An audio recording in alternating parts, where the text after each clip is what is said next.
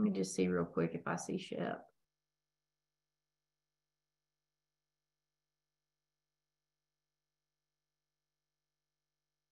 No, not expecting to, but just wanted to check and see. All right, so welcome. Uh, I'm Brittany Whitmire with NC State Dairy Extension um, over in Ag Econ Department, and my counterpart who's above me on my Hollywood Square, Stephanie Ward. Um, she's in animal science, and we're sort of stepping in on behalf of our UT leadership team that um, is the primary lead on this grant. Dr. Eckelkamp uh, Liz Eckelkamp from Tennessee. She's, I think, in an airport or on a plane headed out of the country today. And then the program manager, Shep Stearns, who many of you may have already had interactions with, um, he and his wife welcomed a new baby last week. So this is the rescheduled version of that info session, and hopefully we'll cover a lot of the basics about this very exciting um, expansion of this program for our area.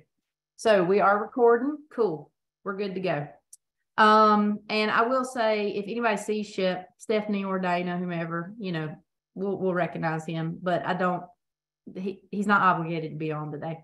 So this is the the lead lead group um, of us who are involved in this program from a grant management standpoint. Um, UT is the lead institution, so Liz Eckelkamp and Shep Stearns are there. Stephanie Ward and I are at NC State, and Jennifer Hickerson, who I'm pretty sure I saw her a little bit ago. Um, she's our primary contact in Kentucky. Um, originally, this SDBI grant, as many of you may know, um, was Tennessee only. And then in the second year of funding, they became a regional effort. And so Tennessee and um, Kentucky and North Carolina became the primary states. And then in subsequent years, we have um, been able to expand the region. And so today, uh, you'll see an expanded map, I think, on the next slide that shows all 12 southeastern states plus Puerto Rico. That's that little dot to the right. Um, there are still, you know, the Kentucky, Tennessee, North Carolina people that you saw on that previous slide are still um, the main ones in terms of questions and technical process, et cetera. And we hope that those of you who are from all these other states shown in red that are eligible for this program, if you are in extension or um, the State Department of Agriculture or any other type of organization that has regular interaction with your dairy farms in your state, we hope that you'll be interested in sort of serving as a conduit for farmers in your state. And they you can be sort of an initial contact for them because they're familiar with you you know the area you know the needs you know the the industry in your particular part of our region. Um, but with that know that we have um, assigned those states that don't have a primary contact to either north carolina kentucky or tennessee so you'll note there and if you're from one of those states just kind of see which bold state is your primary contact. Uh, if you're a farmer in one of those states, we still encourage you to reach out to whoever you work with on a regular basis in your area. Um, and then have that person or y'all together reach out to us if there are specific questions. Um, there's some websites here. This slide will appear again at the end of the program, but um, these, if you get a screenshot of it, this, these are some links and some contact emails that may be useful in the future. Again, we'll see it again um, toward the end. All right, and I will go ahead and say I may um I've got I'm fighting a little bug. So if I sound a little bit like Willie Nelson, I don't have his money or his braids or anything else that he has. But um just forgive me for sounding a little bit nasally today. And I may have to put you on pause and go hack a lung up, but I'll be right back. So thanks for that. And that's gonna be on recording for everyone to hear. It's great. Um, okay, so the thing that's most important and why y'all are here is that the the program that has been the Southeast Dairy Business Innovation Initiative for the last couple of years that's been his primarily focused, well, exclusively focused on dairy processing, either on farm or um, as farmstead or in, in general dairy processing. The scope has expanded and USDA um, last year made us aware that we were going to be allowed to have um, a greater variety of offerings this year in funding so that dairy farms that aren't doing value added processing would be eligible to apply for. So that's why you're here. Um, and we're going to talk a lot more throughout today about what exactly that is. But the two categories that have been added, which are only for dairy farms. So if you're just dairy processing, the spring cycle does not apply. We will, as a note, for those of you that are farmstead and or involved in dairy processing off the farm, we will have another round of um, value added specialized equipment and new business venture grants that will open up this summer. Um, but that's going to kind of be the late summer fall cycle that becomes a regular um, thing for SDBII. And then in the spring will be these programs that are focused on farm. And for this year, we have divided those into two categories. So farm infrastructure improvements and precision technology. Um, there's a website noted at the bottom. We'll navigate to that shortly, but um, these are very generic categories that can encompass a lot of things. And um, anyway, we'll, we'll delve more into them. The, the ticket will be that uh, here's, here's a little more detail about those programs. So for farm infrastructure um, applications, the maximum award is going to be up to $100,000 and that will also come with a 25% matching requirement. Um, and of course, if your project exceeds $125,000, uh, whatever that balance is will be out of your pocket too. So the maximum award is 100,000 no matter what, and 25% of the total project um, will be matching funds from you.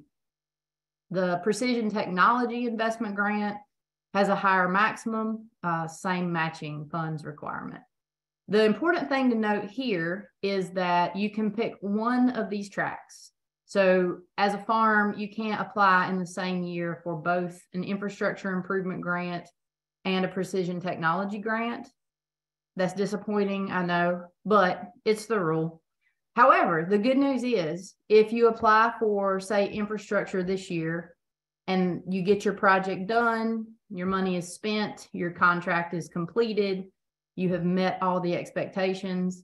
Then in next year's cycle, if there's something on the precision technology side that you're wanting to pursue, you would be able to apply for that. So you can apply for one at a time, but not both in a single cycle. And you will have to have a project completed before you can apply for um, a different project. So hopefully that makes sense. All right, on to the next one. And I think this is where, are we on eight? I think this is where I'm going to hand it off to Stephanie. Right? Sure. Um, so, like Brittany said, I'm Stephanie Ward. I'm dairy extension specialist at, here at NC State, and um, I uh, wanted to. I'm going to go through what some of the um, on the RFA, so the, the request for applications or proposals that you'll find on the DBI website, um, we have some bulleted um, items on each of these calls. Uh, and these are ones that we felt like um, as we went through and saw over the last couple of years that we've been working with Liz and the group at Tennessee and and when we get these applications in from across the region these were topic areas that came up a lot in conversation of these are things we need. And so when usda um, decided to open the these calls up beyond just value added production um, we sort of categorize these into into um, main ideas but keep in mind that while these are what's listed on the application as potential areas uh, you could apply for something that's not particularly listed here. Uh, and that's why Brittany was saying, um, if you know, if you have an idea outside of here or something that you don't see where it fits in some of these bulleted lists, then um, certainly reach out and we can have a discussion about that.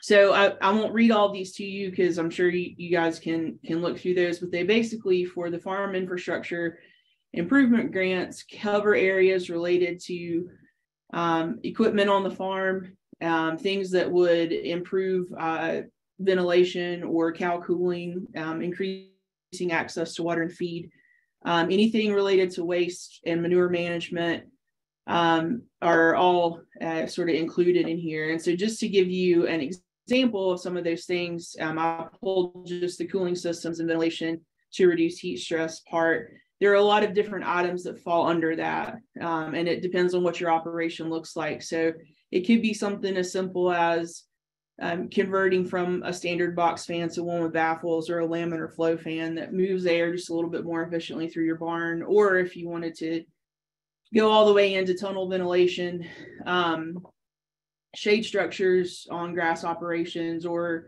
um, for anybody that's housing cattle outdoors, these are two examples of, of different types of those. So uh, all those things could qualify. Um, the thing to remember is that a competitive application is going to have a good justification for what this piece of equipment or this project will do for your farm in terms of um, improving production or efficiency or fill in the blank. So, for example, here, if we were talking about cooling systems, um, you know, we might see someone talk about if you are currently very seasonal in your milk production and maybe you've been given notice from your milk buyer that you need to get that um, down uh, into a, a, reasonable range for them. Um, that's a good metric to be able to include in your application. Uh, if you if you know or work with your co-op or whoever um, to sort of quantify what that seasonality looks like, and then you could offer that this change in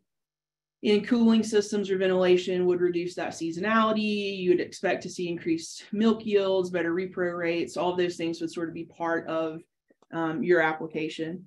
Um, and then the other thing that we'll talk about a little bit more later too, but I wanted to bring up here because it's just part of the example, um, is that there are opportunities to integrate into other grant programs. And um, the REAP program, which is the Rural Energy Program, is also has a current uh, call open for proposals that deal with reduction of energy utilization on the farm. And so some of these cooling systems that upgrade or change might also fit well into the energy um, or into the REAP program. And so those are due, I think, at the end of March. So it has quite a bit sooner deadline on that. And there are some um, pre like some steps that you have to take for those, which Brittany will talk about later. But that is another cost share opportunity um, if you're thinking about going in, in that sort of direction.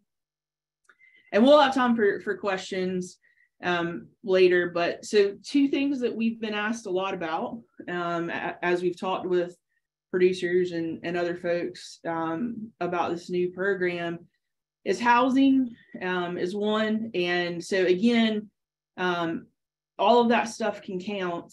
The rule is, though, and what we want you to remember is that these are federal dollars. So, two things that go along with that there's no building or construction costs that could be included there's no purchasing of land and really no what they would call capital investments that can be made um, with this money. And on that DBI website that Brittany mentioned, there is a list of allowable and unallowable expenses on there. And we'd encourage you to review that while you're working on your application. And we'll walk through those things with you if you need us to. Um, so no construction materials, but fans, waters, loops if you're going into free stalls, those kinds of the things to sort of fill that barn um, if you wanted to upgrade things in your housing, um, thermostats to put your fans on, curtains, headlocks. Um, if you're working on pack barns, implements to manage the pack, um, all those things could be considered um, eligible for um, the, the infrastructure part of this uh, program. Um, then the other real common question that we get is parlors, and that comes across from both cows and the small ruminant side. Uh, and it, it's like, I mean, we feel a little bit like Santa Claus because it's kind of like Christmas. And that, yeah, that stuff, that stuff works. And um, robots can can be paid for with this um, if you're considering going in that direction. If you are, you know, um, milking some of our two-teated friends over here uh, in a in a stall or stanchion, and you want to modernize that parlor, then that equipment could also be considered part of this grant um, improving or expanding your current parlor, even if you're not moving towards automation or robotics, if you're, you know, in a double 10 and you want to expand to a double 24, the equipment part of that um, could certainly be included in this. The concrete and everything else that you would need to expand the maybe the footprint of the barn would be considered construction, and that wouldn't um, be allowed. Um, milk meters, automatic takeoffs, um, any sort of upgrade uh, in that regard would also be something that could be considered eligible for this one. Um, and so then on the precision technology side, um, there's a, a, separate list, but some are still kind of related. Um, any sort of wearable technology by the animal, um, any sort of pasture, forage, feed management related technology, um, equipment to support any automation. So for example, if you wanted to move into an automated calf feeding system, um, those, those systems, that equipment could be a qualified purchase. Um, so there's a list of things there. Um, the two things that I'll point out on both sides, um, too, that we don't often think of but are important pieces are business management improvements. And so whether you're value added or not, inventory control, um, upgrading your accounting systems, those kinds of things can also be a part of these grants. Um, so again, examples um, of those just to sort of get you thinking about them. These are examples of wearable technologies. So anything from CowManager to these are the, this is the Allflex version of a ear tag and collars. These are just uh, pretty standard activity monitors, I think are becoming relatively common um, on farms these days, but they still carry a price tag, especially if you're trying to outfit a large number of cows with them. Um, milk metering, I mentioned that uh, on the infrastructure side, but if you were going to move on to something like a AfiFarm um, or AfiMilk system, um, that might be more considered the precision technology side than it would be um, infrastructure. Um, and then under the feed management, forage management side of things, that's obviously a big part of any dairy operation, regardless of what you're milking um, feed management software. Just again, we're not endorsing any one brand here, but just these are pictures that I had available. So TMR tracker, um, automated feed pushers, all those sort of things um, can be included. So there's two things that we want you guys to think about as you're putting these things together. Um, and one is to make sure that the technology that you choose is actually going to solve the problem that you have. And a lot of that comes from working with the service providers and vendors of this equipment or with your extension folks in your state. Um, and because these things are um, kind of they're fun, they're they're new and they're sort of innovative on the farm and they can get you a lot of information um, if they're used appropriately. But what we want to avoid is purchase of any of this kind of equipment or systems and then it not actually following through with what you thought it would be. And so we'll talk a, a little bit later about the application process, but we'd really like to see that you've had a relationship with um, a vendor or service provider of these things before you jump off into you know, just buying a robot to milk your cows or any other um, big uh, in, investment piece like that, so that we know um, that it's going to work out for you in the end, right? A lot of times, as some of these technologies started really coming on the market, we we've heard stories of uh, farms purchasing them and then realizing that they don't have the internet connectivity or the web base that they need to be able to make them work appropriately, and so um, that's something that you know we want you to have that conversation up front um, while you're working on your application and not at the end of it if it's awarded. The other thing i think is important to think about where and it comes to technology is um, we often talk about technology as a replacement for labor for human capital and, and human labor on the farm. And there are some ways that that is the case. I mean we've put calf feeders in on one of our operations and they work great um, it's a whole different management style when you move into those systems for sure. Um, but those robots only replace sort of the hands and the feet of our labor. They don't replace the eyesight and and um, the other senses. So when you start thinking about some of these technologies, understand that you're going to get some labor savings from those in certain places, but you still sometimes need people to have eyes on animals. So again, just sort of thinking through and talking through with us, or again, like Brittany said, anybody is normally an advisor for you, what's going to work um, the best. And then the other thing is to justify in your application how you anticipate that thing, whatever you're applying for, will improve or increase efficiency of production on your farm. And and it could be a very specific thing or it could be a general thing, right? We know that um, I think there's a lot of data, but also um, just real world experience with some of these wearable technologies now that we can do great in terms of heat detection um, and use less synchronization drugs, which is a cost savings over time. Um, so, you know, including sort of your thought process and the application is important for when that, uh, when you're talking about what you're going to apply for here. Um, a couple of things to go through. Again, there, there's a whole list of these, but these are the ones that we pull out because we think they're the most important for you to consider. Um, there are lists of unallowable costs, real estate purchases, land, none of that's allowed. Um, you can't use this money for repayment of loans or mortgages.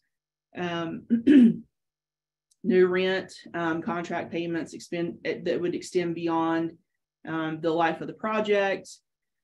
Um, you cannot pay for legal fees for things like someone to go to court and represent you. But if you are talking about farm transitioning and part of your business plan is to have legal consultation in that process, you can include those kinds of fees um, in your grant.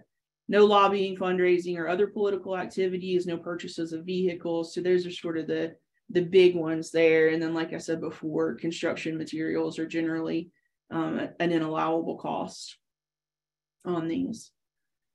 Um, and so again, just to sort of strategize um, about your what makes a competitive proposal. Um, and you know, one we, we sort of say think beyond today. Um, it's really, really easy to walk across the farm and say, oh man, that's broke and this is broke, and I need to replace these things. And the farm infrastructure grant could be um, a, a, good place to start with that process. But to write a competitive application, you need to think about your justification for that, right? Um, if your if your crowd gate hasn't worked or you've never had one and you don't have enough people to move cows during milking, then sh- for sure you could apply for for a crowd gate and that contributes to milking efficiency and that's a bullet point on the infrastructure grant. So just sort of think through um, what's going to make you competitive and I think we're all willing to help you do that um, if we start early, right? Um, there's limited funds. Every time we've done this, we get to the end of the money way before we get to the end of the applications, and that's pretty typical uh, with grant programs. So um, we want really good proposals put in.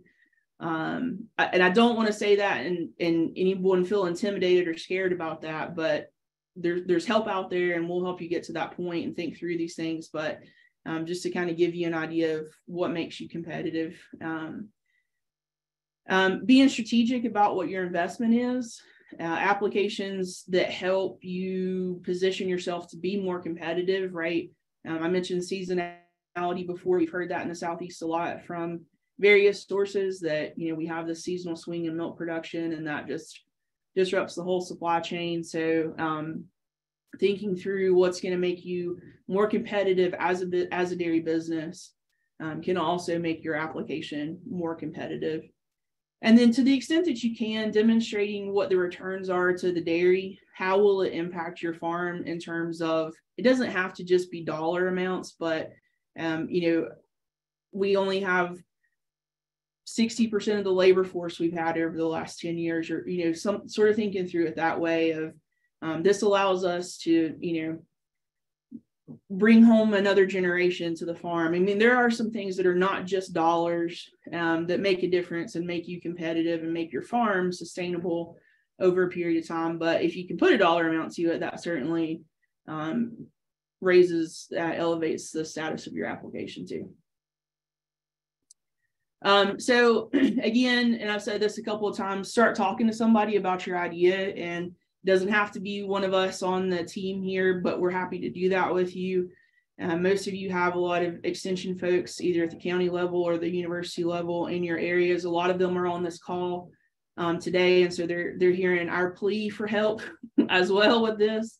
Um, that you know they can help you think through that. There's also a lot of different um, service vendors and um, folks that sell the technology that have tech service available and field reps to you. And we've asked those folks as well. We are reaching out to um, a lot of the common um, folks we have in the region to consider being open to um, well, talking through these projects with you as well. And one important thing to remember um, for this this cycle of the applications, it will require that you have some reference or a letter of support for someone that says, yeah, we've talked about this idea and we think this will work. And ideally, that would be someone that knows your farm well.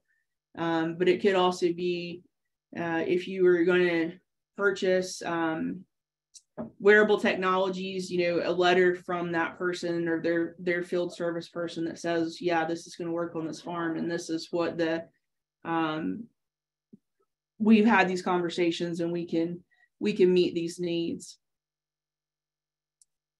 Um, okay, so as far as timeline goes, um, the calls are open um, and they're due June 2nd.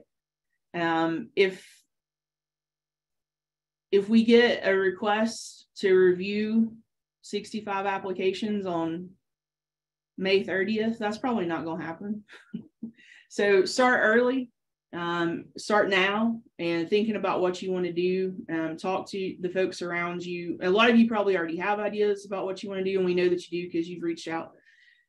Um, determine what's realistic and prioritize what you want. Like Brittany said, we're not encouraging people to apply to both of these at the same time, but pick one um, and think about what you can also achieve inside the project timeline, which is a year, um, essentially from the time that your your contract is awarded until um, you move forward in uh, into purchasing and all the other steps along the way there.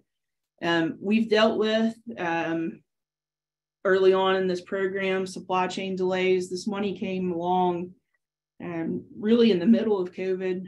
Um, and prices doubled and tripled in, in some regard um, over t- 2020 to 2021 and even into 2022. Some of that seems to have flatlined a little bit um, over the last year or so, but we're aware of those things and we've tried to work with all of our applicants to to make uh, concessions there where we can. The USDA is aware of that as well, but um, thinking through those things ahead of time will help uh, sort of head that stuff off at the end. So Brittany, I'll, I'll turn it back over to you to go through um, where to find this information. We will switch gears. Um, I may turn the chat over to you and or there may be some of those that we have to defer um, and get answers on but I've tried to keep up with them. So do you want me to, do you want to navigate to these links or do you want me to do it from my end? What's easiest? We were trying to be consistent so that the recording would be smooth sailing for people, but um, we're going to talk logistics. So uh, where to find this information. Tennessee is the primary. So for those of us in Kentucky and North Carolina, and for those of you that are in extension or like I said, in other sort of state level organizations who want to add information to your own websites, um, we're we point back to this landing page. So while North Carolina, we have a dairy extension portal and our folks sign up. And if you're from North Carolina and you're on this webinar and you already have not signed on to get our um, updates, we don't send you anything unless there's news. But from our dairy portal, you can sign up to sort of stay in touch and subscribe. And so anytime there's news about SDBII, we put that on our site. It goes out in an email, and you can get to the main Tennessee value added dairy page through some of these other um, websites. But we all end up pointing back to this page so that it's all housed. So for those of you that wonder, you know, why is everything UT? Well, it's because they're the lead. So it's safe you're not being redirected to the wrong website. Um, but this is what the landing page looks like. It's value added uh, Dairy Tennessee. You can see it highlighted hopefully in the browser bar. If not, again, um, this recording as well as the slideshow will be available and the links are live on the PowerPoint slides. But this is where you can find um, all the grants. And Stephanie, if you'll highlight the drop down button under SDBII Business Grants at the top, um, there are actually four. So here's where I want to make sure you're we're, we're clear. Um, farm infrastructure improvement and precision technology and management. Those are the two that are open currently. So those are for farms and for spring. The two below it, which say specialty equipment processing and beginning processor, those are the ones that have been out for two years now.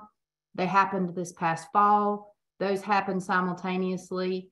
We're housing all these grants here on this page, but don't be confused. They're all here, um, but the two you're looking at and that you're interested in are the top two.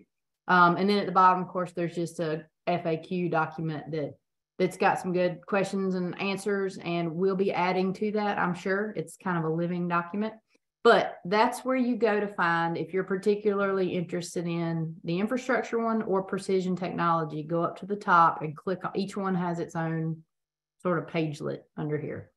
Um, so here we are on um, farm business grants. As you can see, this is this is the 2023 spring cycle and precision tech and farm infrastructure are there. Um, all right, so I think the next thing we were going to chat about is actually the application materials. So when you get to that landing page, toward the bottom of where Stephanie was, this is where your application materials are.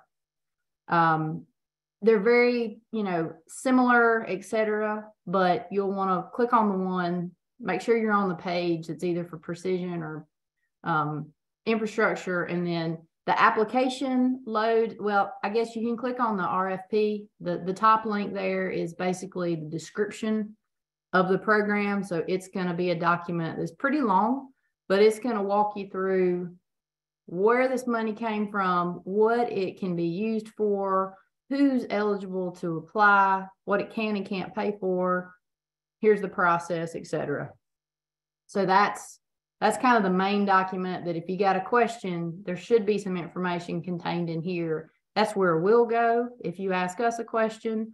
Um, and if it's one of these questions about is this allowable or not, there's a whole other document that gets real specific because it's federal funding. We'll point to that in a bit. But you can go back, Stephanie. That's that's that's sort of the meat and potatoes of what is this grant. Um, so back on that page, when you scroll down to the application materials again, um, we'll, we'll actually click on the application itself. There we go. All right. And as a side note, you see that Stephanie's clicking on the links. I will say this, and this is quite important just to be reading the material, it's cool and kosher and all the good stuff to click on the link. But when you actually start wanting to put information that you care about and want to have saved, download the document. The little button you see she just pushed, it downloads because it won't necessarily save. It won't save. Let's just count on that it won't. Um, if you're doing it just online. So you're going to want to download the document once you decide and you think through long enough about what it is you, is the priority that you're going to put in an application for. You want to download that document and start putting data in that downloaded document. Um, all right, so yeah, but we can see either the downloaded version or just the link to the application, Stephanie. Yep.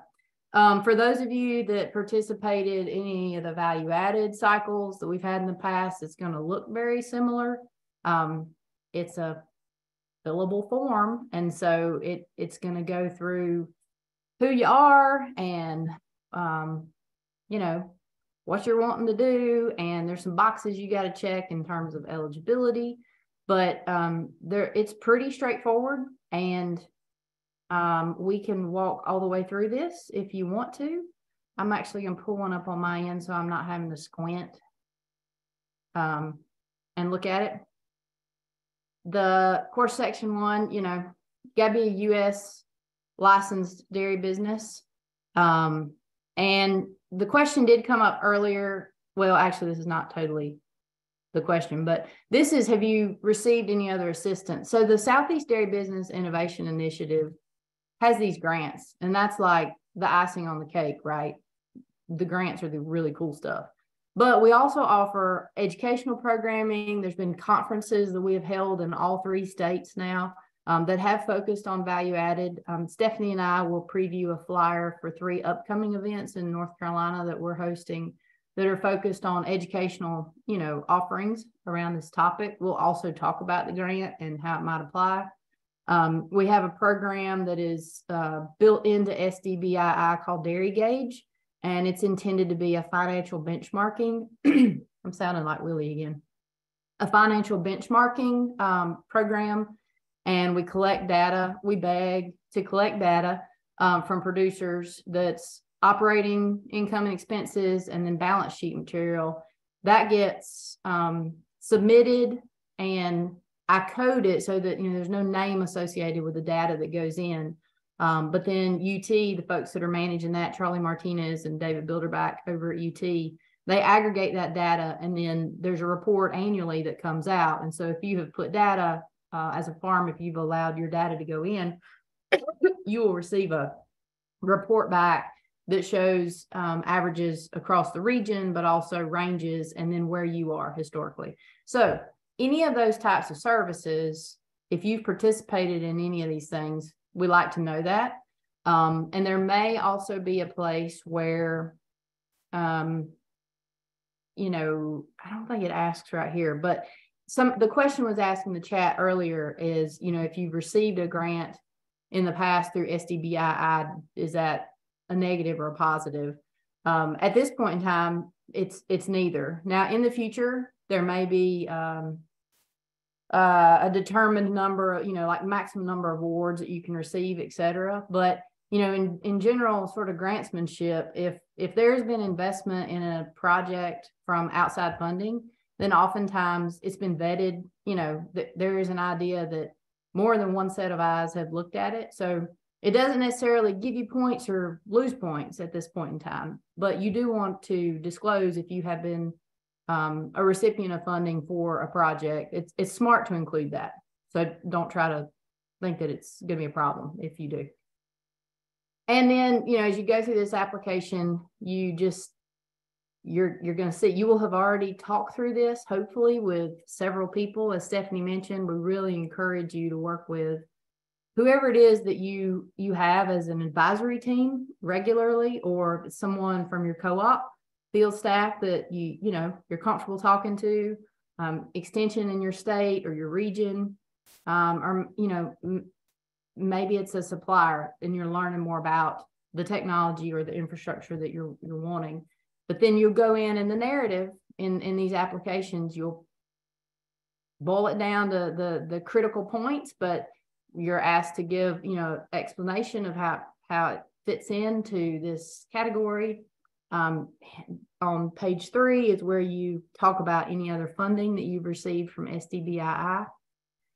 Um, on the project summary, which is in section two, reviewers, and this question was asked in the chat earlier and I, I addressed it, but in case you're not following the chat, we are not the reviewers. So Stephanie and Jennifer Hickerson and I, who are uh, some of the state leads, and Liz and Shep, we, we do not serve on the review committee.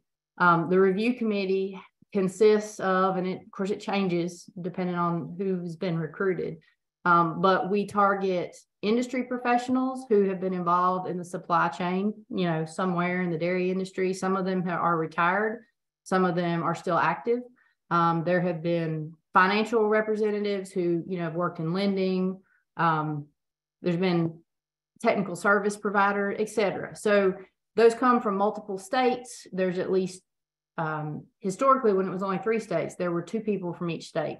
So there will be a similar type of representation of diversity from um, the area as well as expertise. And it's a totally separate group of people. And that's so that we can answer your questions, you know, when you call and it's not putting us in a situation where there's a conflict of interest. So anyway, they do like specificity though in in these sections, whether it's on the timeline or the work plan. So as well thought out of a narrative and as much specifics as you can provide within the word limit, the better your application will be. Um, the other point, just as an overall rule, is these folks generally have a pretty good idea of the industry. And so asking for the moon and knowing you might only be able to lasso two stars, um, asking for something that's totally out of feasibility reach, whether it's timeline or um, market capacity or you know whatever, they'll pick that up. And so we've been advising folks put in a really realistic estimate, maybe best case, worst case, and then kind of right in the middle is somewhere where it's pretty realistic as to what these projects might do for your farm.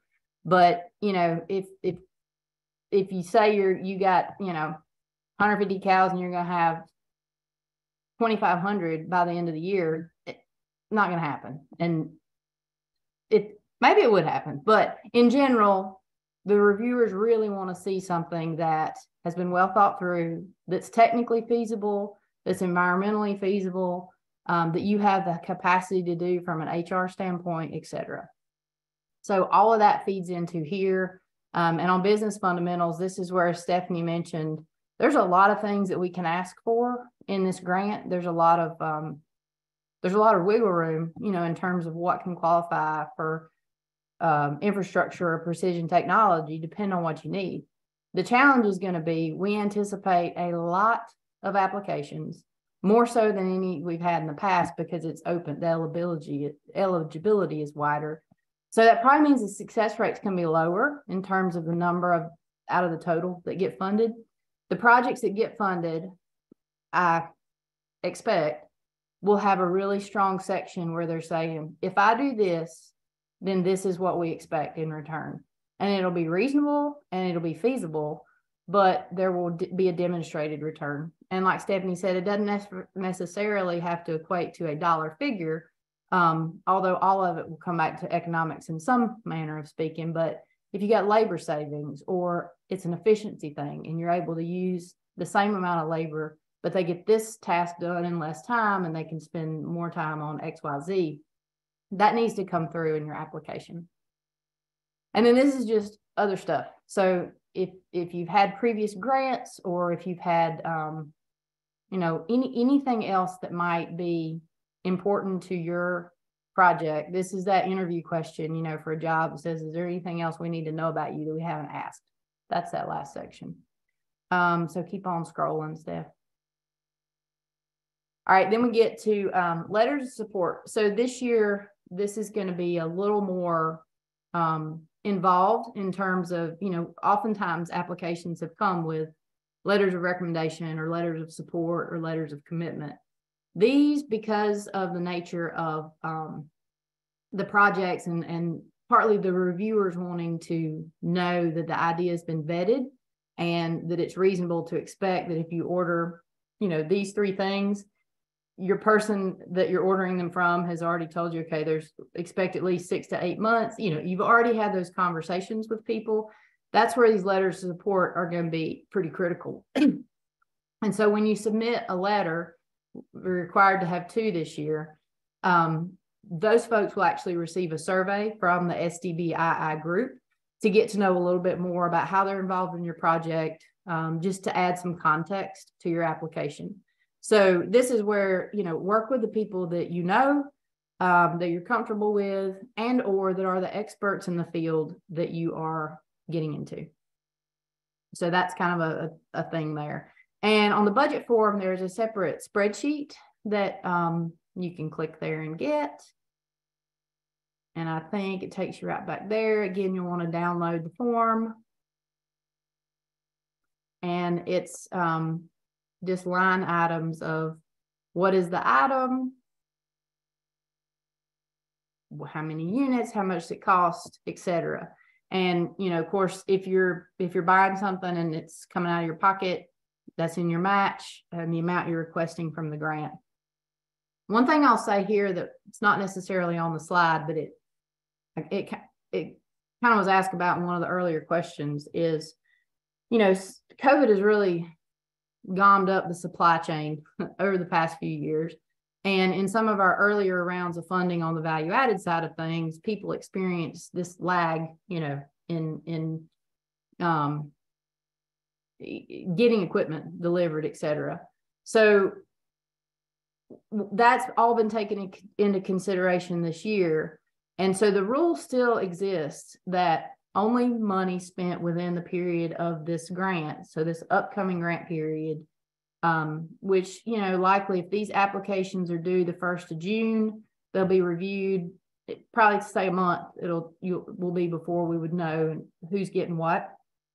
Um, but anyway, the contract has to be sort of signed on the dotted line for everybody. And during that grant period is when however much money is spent on this project, that's the allowable expenses.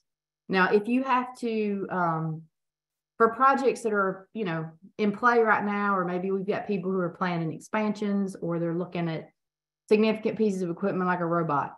Um, for for this cycle, if there's something that's had to be ordered or a down payment's had to be made to, to kind of get in line because there's a 12 or 18 month wait period, um, that deposit can be made and that piece of equipment would still be eligible for these grants. However, the deposit that was paid outside of the grant period or the award period, it wouldn't count toward what you get you could count for your reimbursement for the grant, but money spent within the period can. So I hope that makes sense. That's an allowance that USDA has allowed us to um, to make that sort of doesn't force everything into a grant timeline. Um, it does in a sense because you still you got to spend the money in the grant period. But if there's money that you've had to spend outside, it doesn't negate the eligibility of that particular equipment. Okay, so jumping over to um, other options, complementary funding. For those of you from states that um, aren't listed here that are in this region, if you have grant programs in your state that are specific to your folks, um, Tennessee has several uh, in that that they offer through their Department of Ag. Uh, we have three here in North Carolina that are run through extension, through some of our tobacco funding, and then Kentucky's got a couple listed there. We would be happy to add those if you send those, send that information in to Shep or Liz. Um, we can add those sources of funding that might be complementary to folks. Um, and on a national level, level, there are a couple that uh, I want to reference here. Value added producer grant for any of you that are doing processing, you may be familiar with that one. Um, the cycle is currently closed, but it will open again. Um, probably, I think that's usually a fall application for a spring cycle. But anyway, that's that's funding focused on value added. The REAP grant, which Stephanie mentioned, um, has received a lot of attention this year because there's a higher max award and there's a higher percentage of cost share for those. The challenge on that is um, timing, but if you have a project that is really focused on efficiency or um, renewable energy, et cetera, um, the REAP program does happen every year. It has a deadline this year for the grants of March 31st. Um, so this is a pretty tight timeline unless you're already got that in your uh, uh, in your sort of toolbox. Then it may not be applicable for this year, but in future years, I would keep that in mind because in talking to the USDA folks, and there's a REAP lead in every state, um, that higher percentage and higher maximum will probably continue through um, the, the next several years. So if you have a project that you're really focusing on saving energy and or creating renewable energy, REAP may be a really good option for um, adding to, um, you know, cost sharing your project. Okay, we got a slide specifically on um, REAP, but also VAPG, because another ticket that is important for you to go ahead and think about, and many of you may already have one of these, but um, anytime you get funding from a federal source, they require you to have what used to be called a DUNS number. Some of you may know that. Um, now they call it the unique entity ID. So a UEI, it's it's a free process, but it takes a few weeks to get it done. Um, and I'm gonna just go ahead and say that the the website's not as user friendly as I would love for it to be. But um, anyway, sam.gov is the website. And Stephanie, if you will pull up we have added a quick fact sheet to our dairy portal. I think it will eventually be added to the um, landing page of UT. Yeah, that's the sam.gov page. Um, and, and you get started on that green button. But if you'll go to our dairy portal, yep. All right, so on our dairy portal, which you might roll up to the top so they can see kind of what this looks like If you click on value added resources in the red, and then you click again on value added resources and scroll down, you'll get to this page where we are. And I added this this week. Um, this quick start guide, this PDF, we found out just this week, thanks to Dana, um, who helps us with all of our accounting over there at UT. Um, on page three, it tells us that there's three processes for getting one of these UEIs. And depending on if you're like wanting to bid on federal contracts, et cetera, if you're just wanting it because you need it because you might receive a federal award, then you get to do like the easy form for taxes, right? So on page three, Stephanie, if you'll scroll down, um, you would be option three. So right here in this red box, you click that box once you go through the process and it basically lets you do the, the streamlined version of the form. Because all you need for our processes for SDBII or either of these other federal grants we've talked about or mentioned, VAPG and REAP, you have to have that number, but you don't have to have like all the background for whether or not you might set up a contract uh, or make bids on federal projects. So hopefully that's a little nugget that if you're in the process of trying to do that for this year, it, it needs to be underway. But for next year, just know if you're if you're doing it to meet the minimum for receiving an award and don't have any plans to contract your services with the federal government, you can do number three and streamline. Okay. Um, the other thing about REAP is that in order to receive that energy efficiency funding or renewable energy, you've got to demonstrate that what you're wanting to do actually saves energy. So there's an audit that's required. Um, and several entities and a lot of uh, power providers, utilities provide these, but um, we don't need to spend too much time on that. Just know that those are sort of two preliminary things if you're looking for some of that external funding. And unfortunately, it's pretty tight this year, but for next year, um, keep that in mind. And we're going to try this fall to build some more programming that will help kind of identify and flesh out these federal programs that you might use in future years. So stay tuned and we're going to try to do more of that in the future. Okay, I think that's it. On to looks like there's plenty of chat going on and we will try to do our best to take some questions. I'm going to say, um, Dana, if there's a process question and you're still on here that you think you can answer and or I'm flipping through here to see if I see Shep. If you happen to be on, um, feel free to interject. But if not, you know, we'll do our best to answer what questions we can, and we're taking notes, and we'll post answers to the questions that we can't answer as soon as we can. I did see a hand up a minute ago. I think it was Mallory. Mallory, you still got you're, you're welcome to come off mute and ask questions, or if you want, your you can also put them in the chat. Yeah, let's have some mayhem.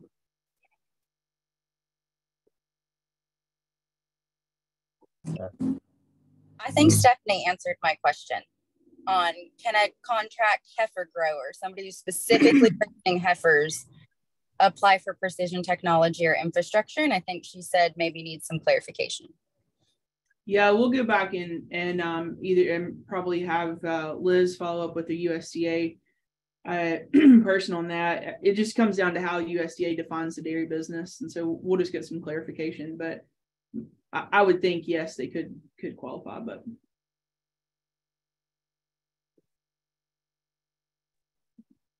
Stephanie, this is H. Uh, a question here. I'm in with a group of several dairymen in Glasgow, Kentucky. Uh, how long does the grant last for? If you apply, how long do you have to get it finished? And you know, when does the second round come and things like that? Sure. Um, so do you mean what if you get it, how long does it last for, or do you mean how long's the application period? Uh, the application period closes June second, right? That's that's right. So it's open now and closes June second. Um, we anticipate um, uh, awards being made and hopefully contracts signed um, by late July or August for this round. Um, and so once that contract is signed, that would start the, the twelve month period. So roughly you would plan from August of twenty-three to August of twenty-four uh, for your, your grant period. Um, and uh, Brittany mentioned Dana, and I'm not sure if we introduced him or not, but Dana is um, Dana Weber. If he, I'm not sure if he's still on here, but um, is at uh, Tennessee, and he is uh, Liz and Shep's. Um, I would say financial muscle, to be honest with you. So Dana is the person that you'll interact with if you are awarded a grant post award to to get all of your paperwork in order and get the contract signed, and that takes you know some time. Um, and I guess the other thing we should mention um, about this and about these DBI programs in general is to remember that these are federal funds, so they're going to have restrictions on them, but they um, loosely in the sense that we, the DBI group, um, are are responsible for auditing these projects over their lifetime. Um, so if you do receive an award and you purchase equipment or any of the things that um, that uh, that you include in your project, at some point we'll be coming to the farm um, or we'll we'll work with your extension folks in your state just to make sure that things are on track um, that you know is being used the way it's supposed to be used um, and that you're you're hopefully going to meet that year deadline there are opportunities for extensions on timelines with things because we know things happen um, and usually that comes in a form of a request to shep and then shep brings that before um, our steering committee uh, and then we, we sort of discuss um, approval of those things. Um, I'll say once a budget is approved, that is your budget amount. That doesn't change. So if you if you got one hundred fifty thousand dollars and one hundred fifty thousand dollars is what you're going to have to stay in. Um, but we recognize that costs can change from the time that you put your application in until the time that it's awarded. So we'll work with you to you know um, amend what your project looks like to keep you in that budget.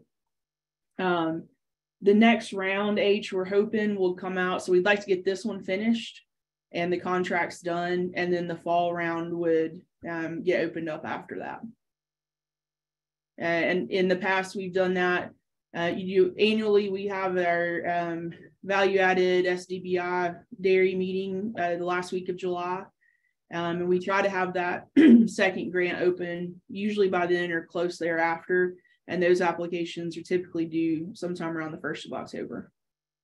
And he may be asking H, um, when is the next round of this particular farm side of grants? And we anticipate that again next spring, we will have another round of these precision technology and infrastructure grants. But as a reminder, and this addresses one of the questions in the chat, um, if you apply for infrastructure and you receive an infrastructure award this year, then you're not eligible for that next year. You kind of got to lay out a year.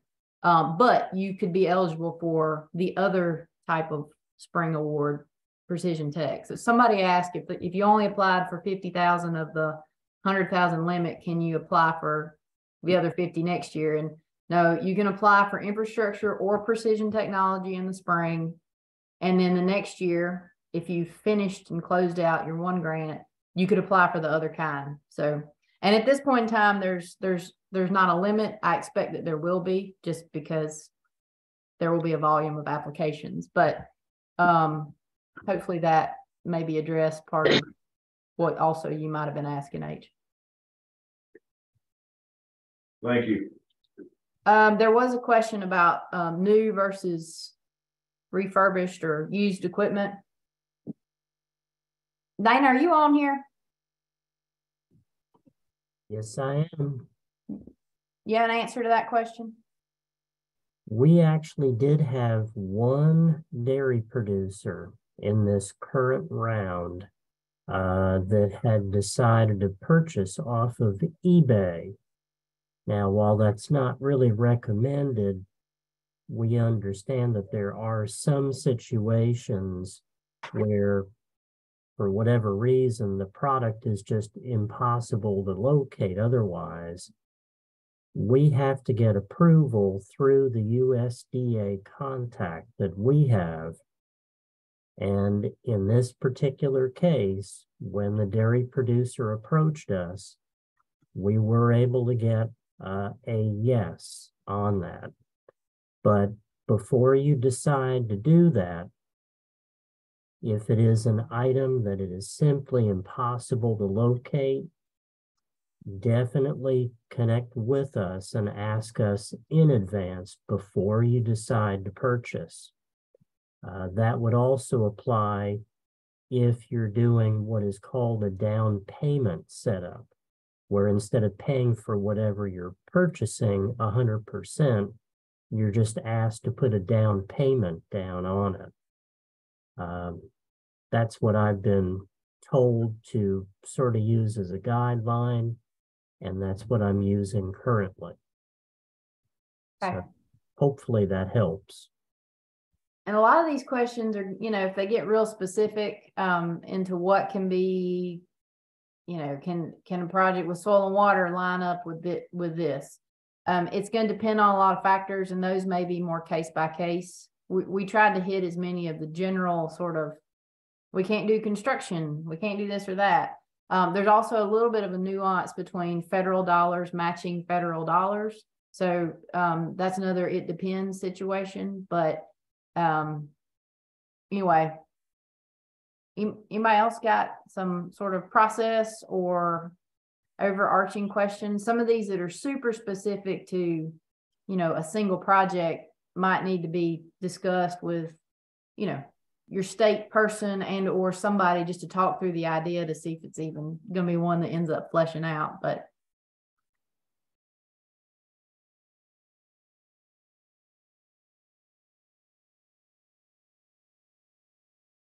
Hey, Brittany. Cynthia. Hi, Cynthia. I asked you in the question, the chat part, but I had one. So, okay. So Stephanie just answered it because I have had one. I'm trying to catch up to all the questions. I had one farmer ask that they are, they're unique in the fact that they have a herd share side and also a commercial, but I have a feeling they're leaning more towards going straight herd share. And they asked if they could apply for this as well. Yeah, it's um it, it's not really designed to support raw milk sales. Um and they you do have to be you know a, a, dairy business entity to apply. And for this particular round like brittany said that's got to be um, a farm. So straight processors wouldn't qualify uh, for this one.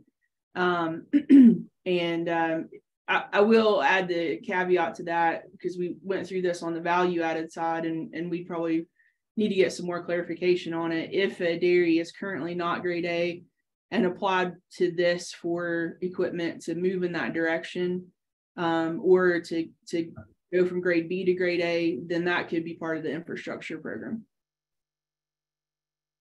There's a, I did, I do see a question. I don't think it, I think we missed it. If you've already answered it and I missed your answer, Stephanie, sorry, but somebody asked, how long does it take reimbursement? Um, if if you're awarded one of these, um, the good news is you're not in round one. So your your reimbursements don't take as long as the folks who were in the very first round of this that ever got going. Because you know, it's all second place is like in the marketplace, not in a race. You're you're better off because somebody else has already jumped all the hurdles. Um, but Dana might be able to answer this question better than me, but it's it's been pretty quick turnaround. Um, Dana, can you answer that question in just in general, how quickly you've been able to process those reimbursements, provided that you get all the appropriate receipts, et cetera, to prove payment?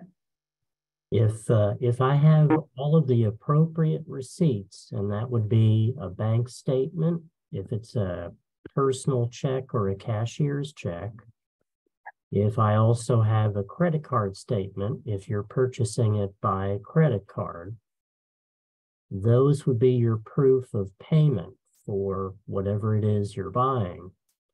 But the invoice from your supplier is critical that it meets specific standards because I have dealt with quite a few vendors currently and have learned quite a bit as to what they're willing to do and what they can do when they create your invoice. it's it's imperative that before the actual item is invoiced, that you make sure from your supplier that they understand a sales quote is not going to do it. A sales order will not do it. It has to literally say invoice. And I know that some suppliers try to cut costs by just using a sales quote or a sales order. That can actually add additional days on to getting your reimbursement pushed through. As a general hmm. rule, I can normally get you within 30 days or less.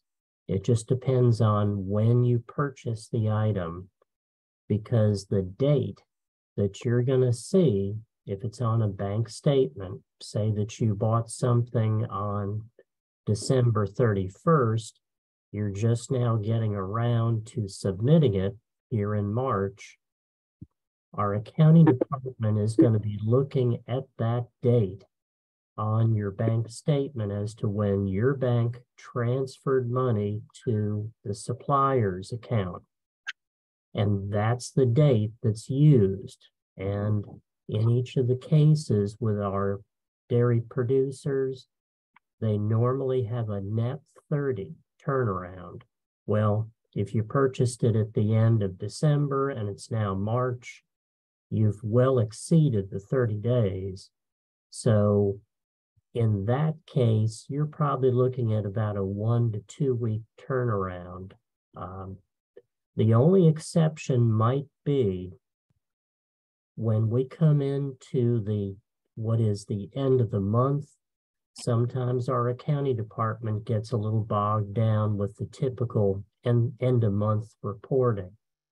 And that could delay it maybe a couple of days. But generally, what the date that you see on your bank statement when the fund transfers to your supplier, that's the date that you can then walk 30 days ahead and that would be when you should receive your funds. So as as Brittany is saying, it's basically a case by case basis. And I would have to literally see the invoice to tell you what kind of a turnaround. So hopefully that helps.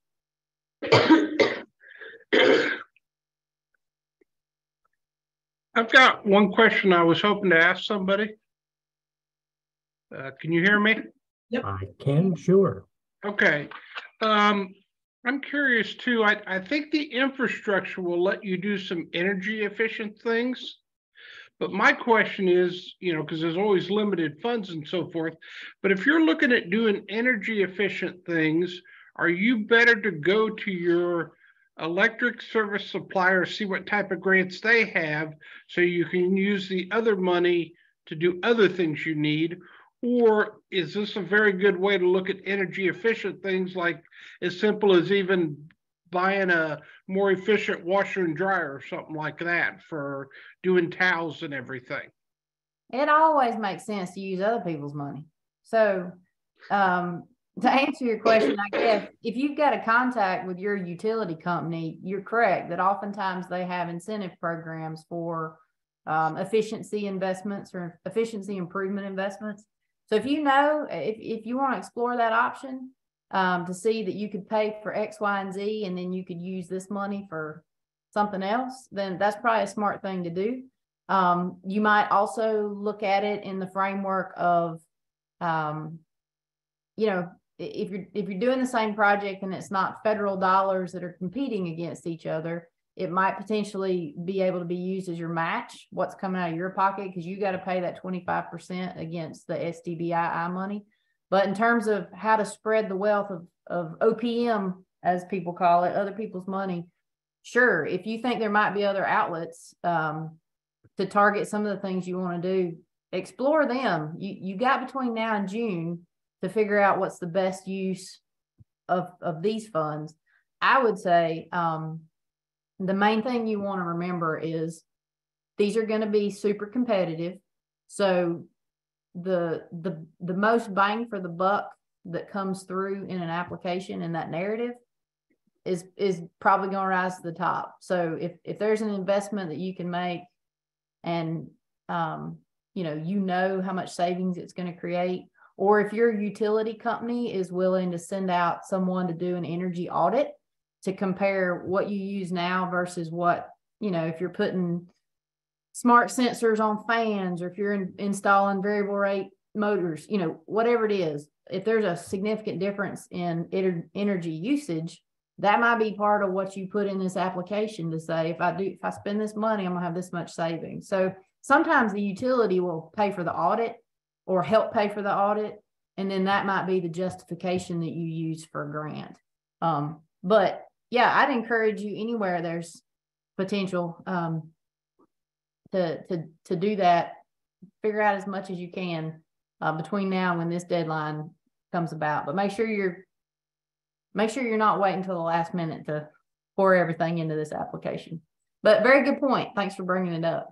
There's a another question here in the chat. Um, I think it's an important one to point out is how long is the follow up period um, on awarded projects? So basically, how long is um, is the USDA involved? And that's technically for the life of the equipment um, that they're involved. And another good point to think about is technically with these things, uh, the USDA, uh, and Dana, correct me if the contracts have changed, but I believe they still would own the equipment. Um, and really what that means is they have, they retain first right of refusal. So if you um, bought robots and put them in and you got three years down the road and you decided this is not for you, um, hopefully it wouldn't take you three years to figure that out. But if you did uh, and you, you decide to tear them out and sell them, then the USDA is going to, you have to notify them. You'd have to go through us, notify them that that's what's going to happen and then they would let you know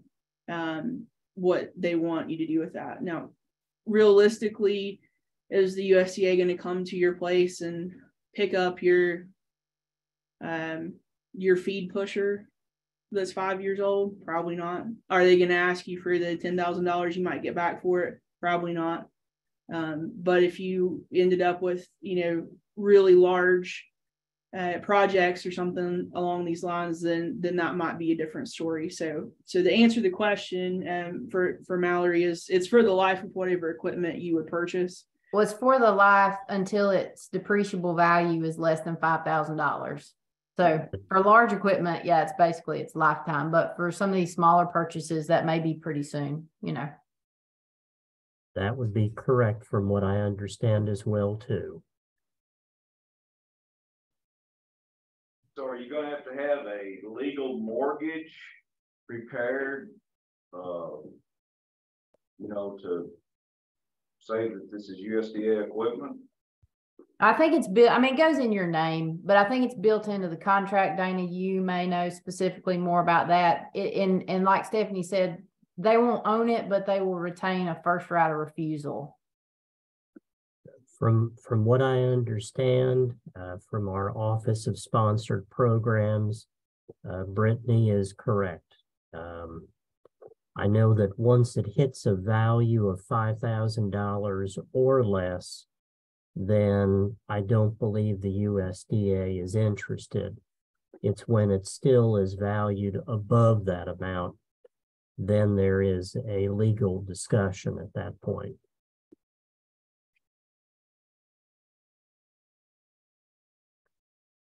So I think the answer to that H is no, but it is in the contract that you guys that awardees would sign that they recognize, you know, that that's a clause on the purchase. That would be correct from what I understand as well.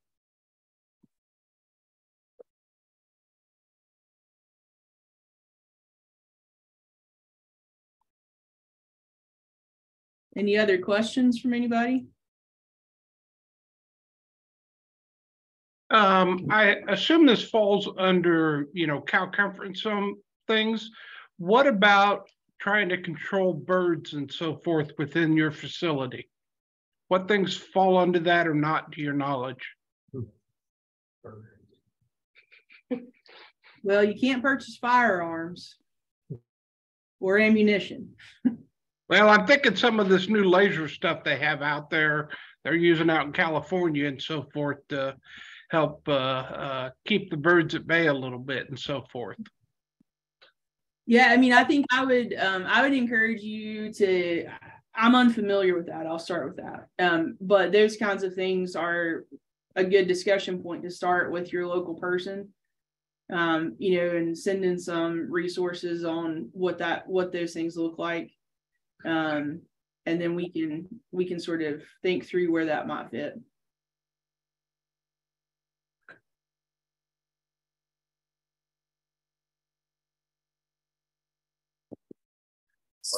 Hey there, I had a question. I see uh, nothing really allowed for construction or concrete, but if we were looking for like bedding storage, would a hoop building be allowed being it's not a temporary structure or is that considered construction?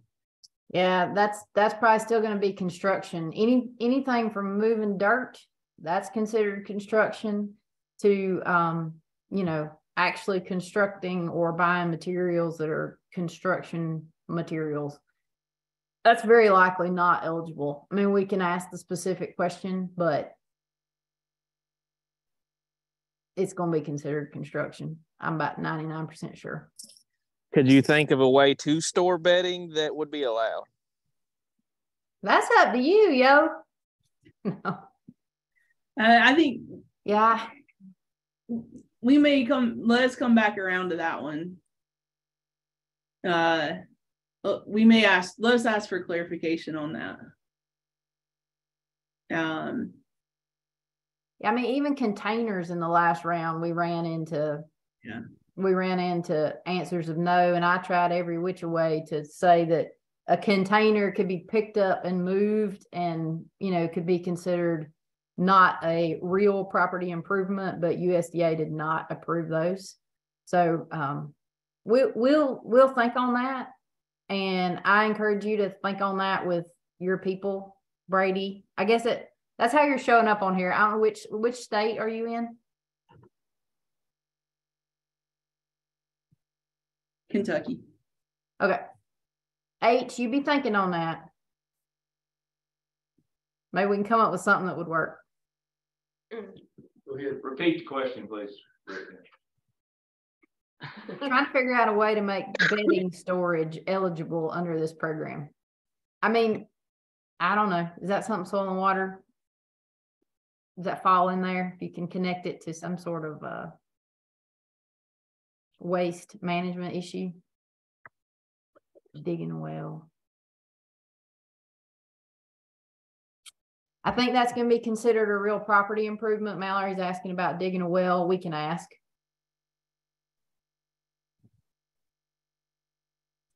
It might be that the uh, pump and some of the pieces, you know, could be eligible, but the actual cost to drill it wouldn't be. We'll have to ask. Real, anything that had, that smells of a real property impo- improvement, um, usually hits a sticking point as construction or ineligible as a not a something you could pick up and take away.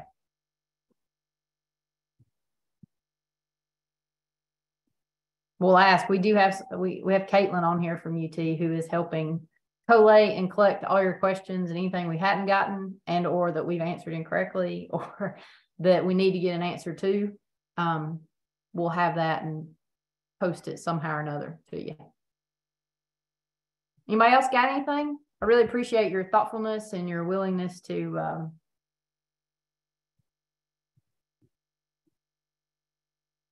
same answer on the pivots. We will inquire. Yeah, pro- probably on both of those questions, the, the pump might get covered and the pivot itself might get covered, but the digging part most likely would not be covered.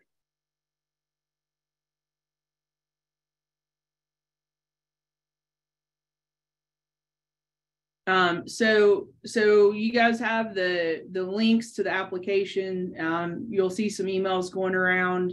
Um, we're trying to collect uh, information from people as, you register for these things. So we we're collecting that, and um, you'll see some some more stuff coming out from us. We do have uh, uh, some workshops coming up over the next month or so here in North Carolina. Um, and and um, more details will be going out about those, but certainly anybody's welcome to attend. Um, our first one will be March 17th in Canton at the Western North Carolina Livestock Center. Um, and then uh, we'll meet again April 6th at the Piedmont Research Station in Salisbury, and then April 25th at the Chatham County Ag Center um, in Pittsboro, North Carolina. And the goals of those are to sort of talk through um, precision technologies and um, what you know making the right decision for for your operation. Um, we'll talk a little bit about modernizing your milking system. So some of the topics that we'll cover at each of these will fit into um, the areas that are um, covered in these RFPs. Uh, and I'll make the note again that um, just looking across the names here, I know we've got a lot of cow folks um, on the call, but our the goats and sheep and um, would also qualify for this, and, and, we'd encourage those applications as well. And I guess if you're milking something outside of cows and goats and sheep, you might want to give us a call first. Make sure the technology works for those. I know we've got some water buffalo, and I've heard rumors of camels, so that one we'd have to have to figure out what you're going to have. So um, this that flyer will go out to our list serves and it'll go out to the Tennessee Dairy Discuss. Um, for those of you that are in Tennessee, uh, attending that meeting in Canton, any of them really, I think, but specifically the one that's close there to y'all in the eastern end of the state um, will count for Tennessee Master Dairy Credit, according to Liz. So um, we'll be on the lookout for for announcements about those. All right, I think we've uh, taken up your full lunch hour. So if y'all don't have anything else, we'll sign off and and uh, we look forward to hearing from you and receiving your applications.